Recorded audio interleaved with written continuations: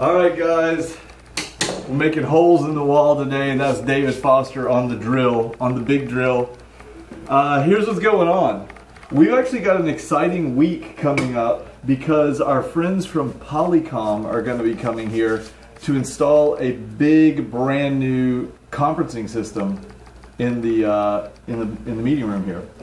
And so what we're doing is the the system is so cool that it will use two monitors, not one. So we happen to have, well, we actually bought them, two big 50 inch monitors there. They're 4K panels and they're going to be hung side by side right here. So we had to do a lot of measuring. You can see we had one TV on the wall before and it was uh, on these four holes here. We had a mounting thing here. We pulled that down. We're putting two identical mounts for the two identical monitors and I want to show you guys how these things hook up because it's really, really, really cool. So first of all, we are going to be using these Toggler high performance anchors and you can see that they hold up to 30, uh, 238 pounds in half inch drywall, which is what we've got here.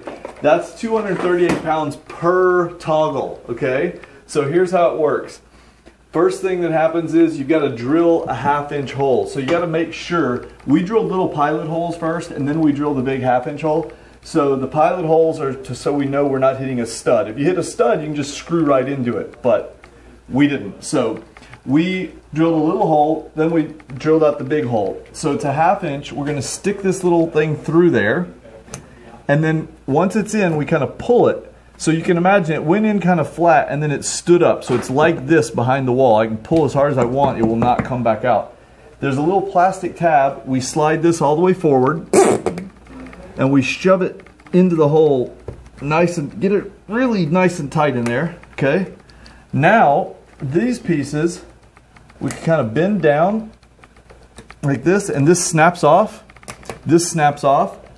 And so what we're left with inside the wall is this metal piece perfectly flush, flat, hanging like that with the little screw hole ready uh, to go.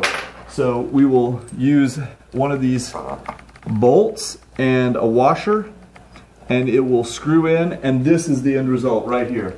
You get this uh, mounted right there, really tight on the wall. Four of those theoretically would hold like a thousand pounds. Of course it wouldn't, but I could hang on this for sure and it will not come out of the wall, which is what we want, a really stable, stable uh, wall mount. So later on we'll show you what all this looks like. We'll have a review and we'll, we'll do tutorials and all kinds of stuff on this new system we're getting. But uh, I guess that's the vlog of the day. It is, and we need to get to work because we got to get to the gym. That's So true. let's go. That's See you next time. Later guys. Let's finish this thing up.